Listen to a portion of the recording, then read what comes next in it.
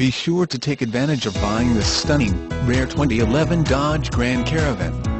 It's obvious by how clean this interior is that the previous owner took pride in owning this vehicle.